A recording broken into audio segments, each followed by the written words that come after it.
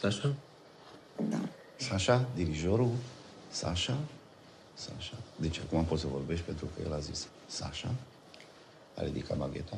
Ați Nu, luat-o e pe baghetă drum și greșit. dirijor și eu a spus Draga mea Sasha, soră. îi spui tu sau îi spun eu?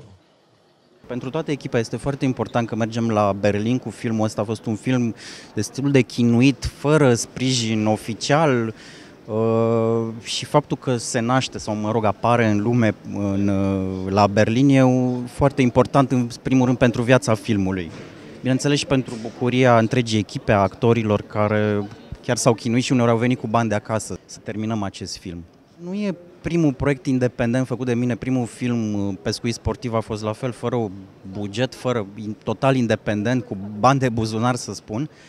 Și a fost o provocare uh, pentru că am dorit să fac filmul ăsta altfel decât am uh, realizat uh, celelalte filme, să spunem, care erau cu un scenariu clar, scris, cu replici, mai mult sau mai puțin, pe care actorii le-au spus în timpul filmării cu duble. Aici n-am avut duble, a fost ca la un documentar mm, din prima au trebuit să joace și aia a rămas, n-au avut replici, n-au avut un scenariu, totul s-a creat și am creat împreună în timp ce se întâmplau lucrurile. Bineînțeles că înaintea filmării a existat probabil mai mult de un an de zile în care am lucrat și am încercat tot felul de situații și feluri de a închega un, un joc și un, o poveste în final credibilă Uh, stând cu ei, discutând și repetând, dar repetând e mult spus. Uh, A fost mai mult un lucru de cercetare, să spunem. Și da, asta nu, e- nu, nu știu dacă se vede în film, nici nu contează bucătăria din spatele uh, facerii acestui film, contează filmul și cum e perceput. E de departe cel mai important lucru care mi s-a întâmplat până acum în cariera profesională. Berlinul este un rezultat al unei munci de un an și jumătate, aproape doi, și uh, îmi doresc, desigur, să fie răsplătit și prin premii, dar pentru mine e deja un rezultat foarte mare și o răsplată imensă faptul că am ajuns aici.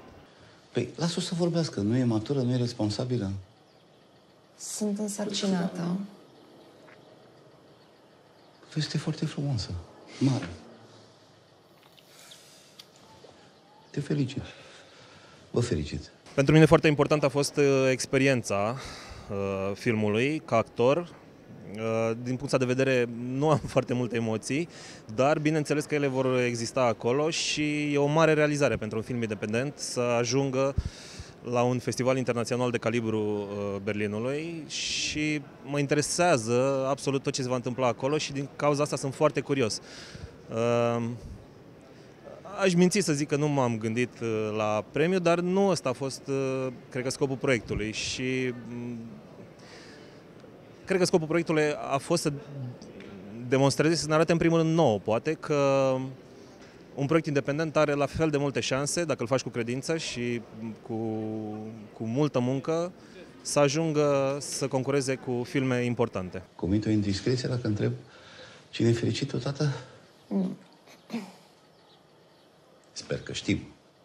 Da, da, da, știm. Ok.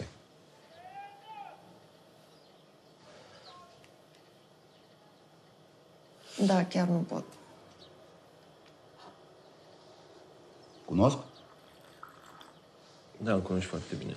Uh, Berlin pentru mine înseamnă o satisfacție foarte mare pentru că cumva dintr-o simplă pasiune, dacă pot să zic așa, am ajuns să fiu uh, parte dintr-o echipă, dintr-un proiect care a fost selectat la unul dintre cele mai prestigioase festivaluri din, uh, din lume. Lucrul la proiect a fost uh, foarte greu, dar și foarte plăcut în același timp și mm, Cred că am căpătat foarte multă experiență pe baza acestui proiect. N-am niciun fel de așteptare, sper doar să, s- ca filmul să aibă parte de critici bune și uh, de ce nu să luăm și un premiu, dacă criticii vor considera așa.